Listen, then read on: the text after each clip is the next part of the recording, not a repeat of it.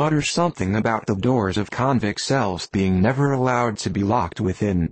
All dressed and dusty as he is, Jonah throws himself into his berth, and finds the little stateroom ceiling almost resting on his forehead. The air is close, and Jonah gasps. Then, in that contracted hole, sunk, too, beneath the ship's waterline, Jonah feels the heralding presentiment of that stifling hour, when the whale shall hold him in the smallest of his bowels wards.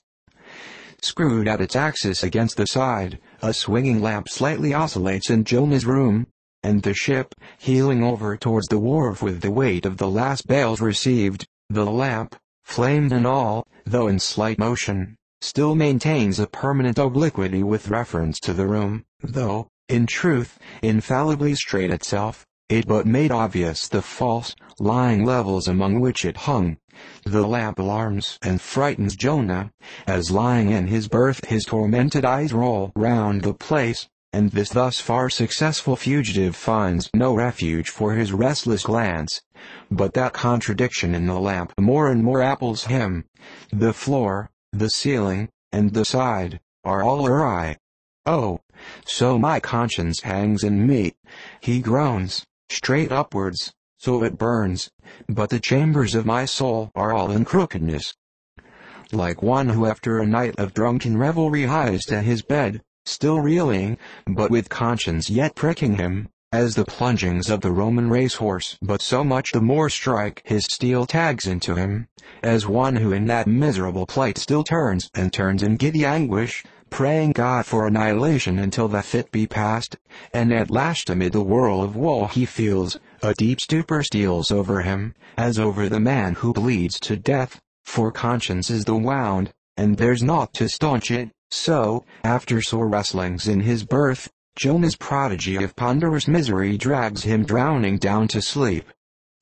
And now the time of tide has come, the ship casts off her cables, and from the deserted wharf the uncheered ship for Tarshish, all careening, glides to sea. That ship, my friends, was the first of recorded smugglers. The contraband was Jonah. But the sea rebels. He will not bear the wicked burden. A dreadful storm comes on, the ship is like to break. But now when the boatswain calls all hands to lighten her, when boxes, bales, and jars are clattering overboard, when the wind is shrieking, and the men are yelling, and every plank thunders with trampling feet right over Jonah's head, in all this raging tumult, Jonah sleeps his hideous sleep. He sees no black sky and raging sea, feels not the reeling timbers, and little hears he or heeds he the far rush of the mighty whale, which even now with open mouth is cleaving the seas after him. Aye, shipmates, Jonah was gone down into the sides of the ship, a berth in the cabin as I have taken it, and was fast asleep. But the frightened master comes to him, and shrieks in his dead ear, What meanest thou, O sleeper? Arise. Startled from his lethargy by that direful cry, Jonah staggers to his feet, and stumbling to the deck, grasps a shroud, to look out upon the sea. But at that moment he is sprung upon by a panther billow leaping over the bulwarks. Wave after wave thus leaps into the ship, and finding no speedy vent runs roaring fore and aft, till the mariners come nigh to drowning while yet afloat. And ever, as the white moon shows her affrighted face from the steep gullies in the blackness overhead, aghast Jonah sees the rearing bowsprit pointing high upward, but soon beat downward again towards the tormented deep. Terrors upon terrors run shouting through his soul. In all his cringing attitudes, the god fugitive is now too plainly known. The sailors mark him, more and more certain grow their suspicions of him, and at last, fully to test the truth, by referring the whole matter to high heaven, they fall to casting lots, to see for whose cause this great tempest was upon them. The lot is Jonah's. That discovered, then how furiously they mob him with their questions. What is thine occupation? Whence comest thou? Thy country? What people? But mark now, my shipmates, the behavior of poor Jonah. The eager mariners but ask him who he is, and where from, whereas, they not only receive an answer to those questions, but likewise another answer to a question not put by them, but the unsolicited answer is forced from Jonah by the hard hand of God that is upon him. I am a Hebrew, he cries, and then, I fear the Lord the God of heaven who hath made the sea and the dry land. Fear him, O Jonah? Aye, well mightest thou fear the Lord God then. Straightway, he now goes on to make a full confession, whereupon the mariners became more and more appalled, but still are pitiful. For when Jonah, not yet supplicating God for mercy, since he but too well knew the darkness of his deserts, when wretched Jonah cries out to them to take him and cast him forth into the sea, for he knew that for his sake this great tempest was upon them, they mercifully turn from him, and seek by other means to save the ship. But all in vain. The indignant gale howls louder, then, with one hand raised invokingly to God, with the other they not unreluctantly lay hold of Jonah. And now behold Jonah taken up as an anchor and dropped into the sea, when instantly an oily calmness floats out from the east, and the sea is still, as Jonah carries down the gale with him leaving smooth water behind. He goes down in the whirling heart of such a masterless commotion that he scarce heeds the moment when he drops heaving into the yawning jaws awaiting him, and the whale shoots to all his ivory teeth, like so many white bolts, upon his prison.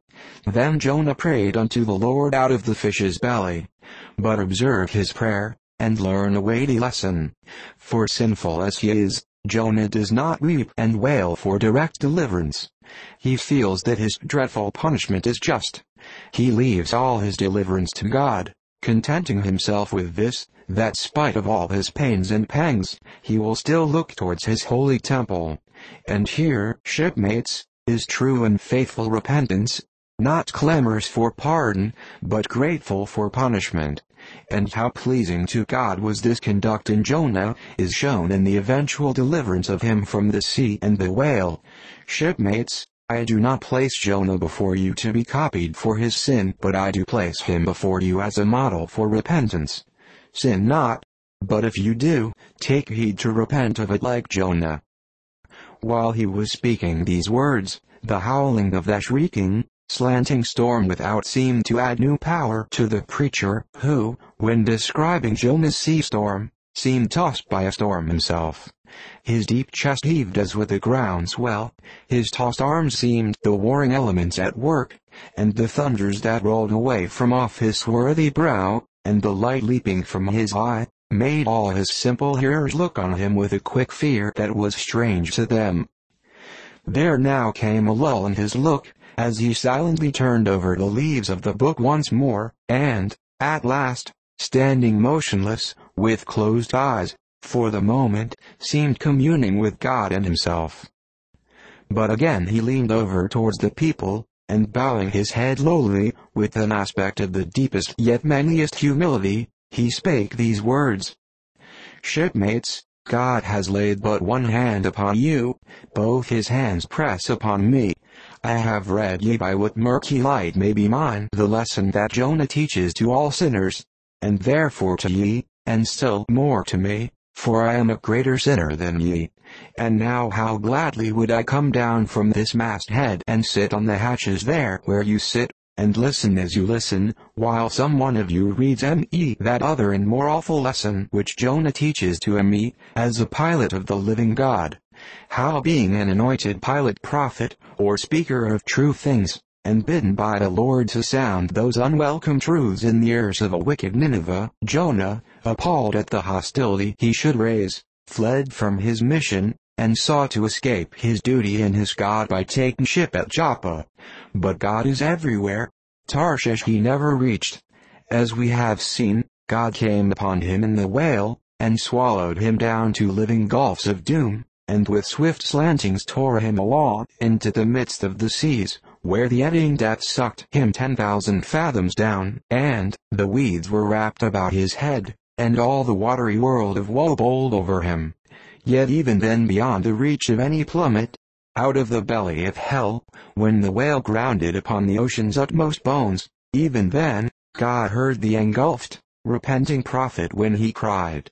Then God spake unto the fish, and from the shuddering cold and blackness of the sea, the whale came reaching up towards the warm and pleasant sun, and all the delights of air and earth, and vomited out Jonah upon the dry land, when the word of the Lord came a second time, and Jonah, bruised and beaten, his ears, like two seashells, still multitudinously murmuring of the ocean, Jonah did the Almighty's bidding. And what was that, shipmates? To preach the truth to the face of falsehood. That was it. This, shipmates, this is that other lesson, and woe to that pilot of the living God who slights it. Woe to him whom this world charms from.